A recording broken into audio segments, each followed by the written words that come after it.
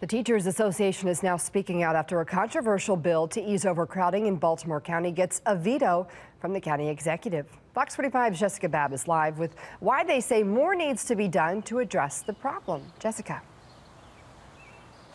While everyone can agree overcrowding in schools is a problem, county leaders haven't been able to agree on a solution.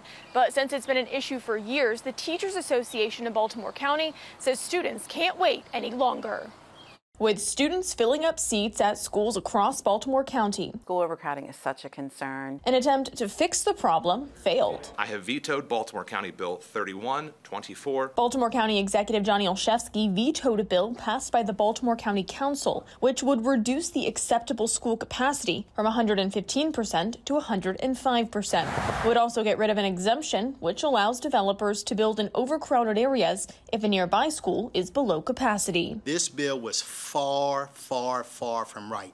And I would challenge anyone, how many times do we have a bill with 58 amendments. Olszewski cited legal concerns and said it could prevent affordable housing. School system officials say they weren't included in the conversation. In its current form, it is unlikely to yield the desired results of fully alleviating overcrowding in our schools. But Cindy Sexton, the president of the Teachers Association of Baltimore County, says she feels that was the wrong choice. We understand the need for development, absolutely, and for affordable housing, and that's what's going to keep our county strong.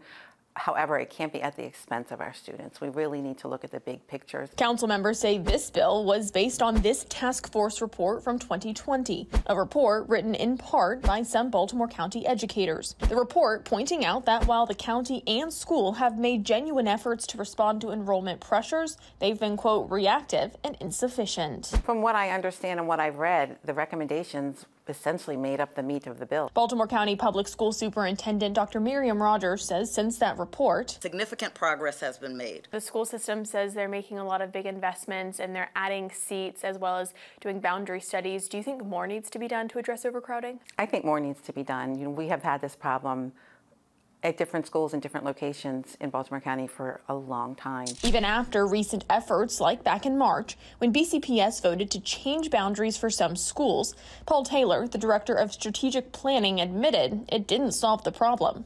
The plan addresses the concerns of overcrowding on some of the schools but not all of them. Then, during this school board committee meeting back in April, when talking about the Baltimore County bill in question, one school board member said while she wasn't sure this bill was the answer, we have to do something because what we're doing now obviously is not working.